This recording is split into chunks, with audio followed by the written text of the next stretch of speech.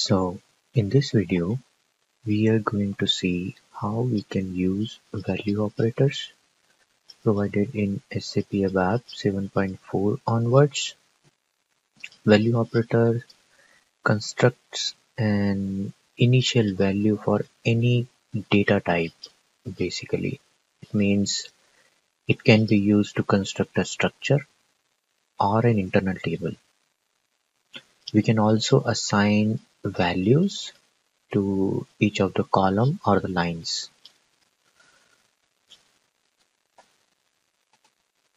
So let's create a simple program to understand how we can use the value operators.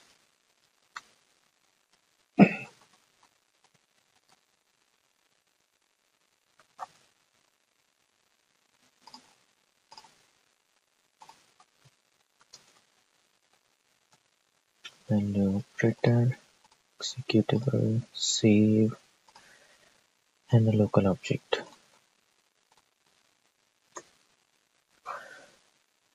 So let's first define a local structure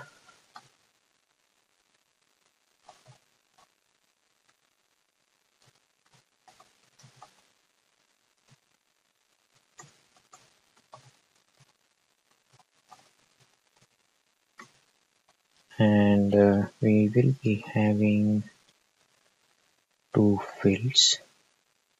Carrier ID with type s underscore rr ID carrier name with type s underscore carrier name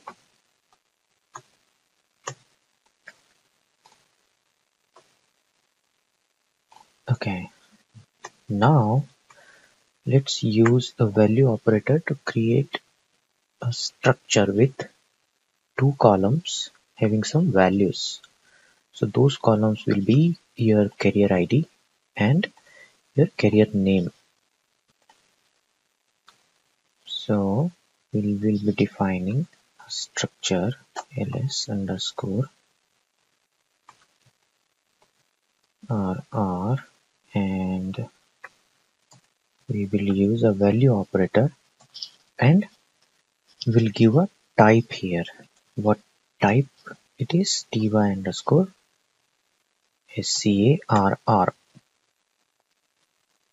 and then what are the fields available in this structure? Carrier id which will have a value say AA and carrier name which will have a value American Airlines. Now let's display.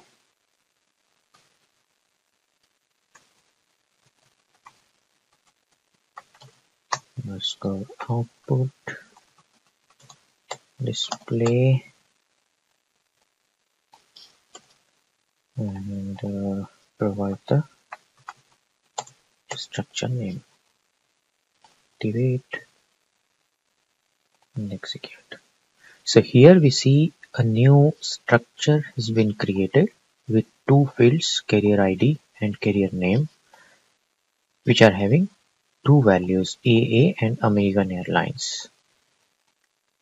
So this is one way which we can use a value operator to create a structure. Now let's create a table for this.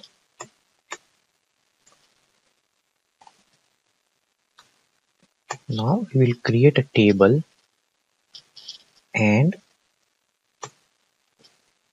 for that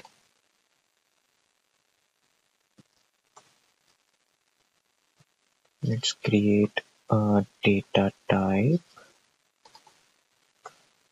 so data lt underscore type standard table of ty underscore carr so lt underscore carr is equal to use the value operator and here we will be using a hash keyword. Why we can use hash keyword here is because this lt underscore scarr which is the internal table is already defined with a specific type here which is ty underscore scarr which is having two fields carrier id and carrier name. So if a table is directly defined with a specific type then you no need to define the structure type or the type here with the value operator. Okay? So now here we have two fields in this internal table. Now we will be filling out this internal table with the different values. So hash and now here we will be putting different values. So the first field is carrier ID is equal to again AA and carrier name is equal to American Airlines and paste. Then Indian Airlines and uh, PA British Airlines okay so in this structure we have in this internal table we have updated it with three different rows basically. Now let's display this will be lt and uh, need to change it to right. Yeah. So this is a structure with two columns and one row. And this is the same internal table with the same structure we have defined here with three different rows. So the main difference where you can use this hash and where you cannot use the hash basically depends if you are defining your internal table or structure like this without having a specific structure type basically. You're defining it dynamic basically. In that case, you need to use a specific structure type with the value operator.